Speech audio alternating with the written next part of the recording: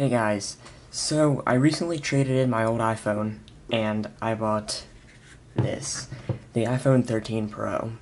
So, what I've had for the past year with phones has been pretty weird and complicated. So, first, I had an iPhone 12 mini, which I still have.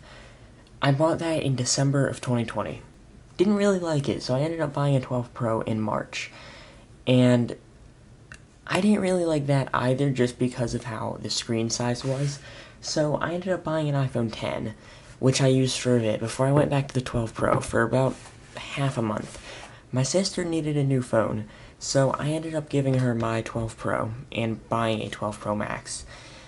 And then um, my dad lost his phone for about a week in the house, and then he bought the 13 Pro, and he found the uh, 12 Pro.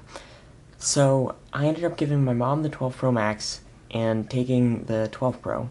Since the 12 Pro Max was so new, I didn't want to trade it in yet.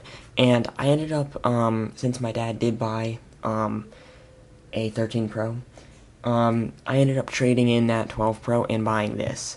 So that's pretty much what my phone's uh, situation has been for the past year. I also had an S21 for a while there. Don't really like that phone either, but this is a nice phone. I really like it.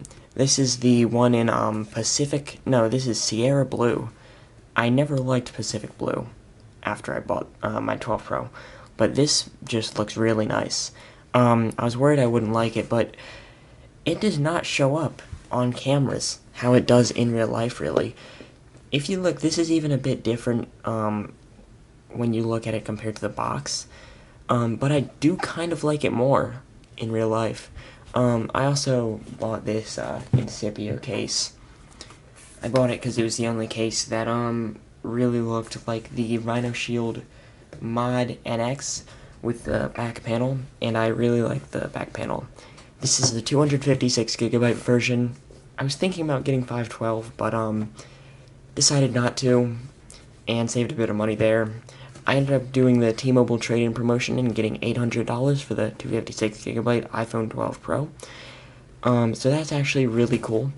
So I'd say for the price that I paid, um, and I also got $100 off with Best Buy.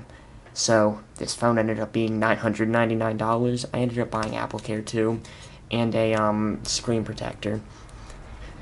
I bought this one because it was edge to edge. I can't stand the screen protectors which like cut the notch out and this is edge to edge, and I really like that. Finally, Apple moved this up, so it's just uninterrupted. My initial thoughts on this phone are very good. I really do like the camera.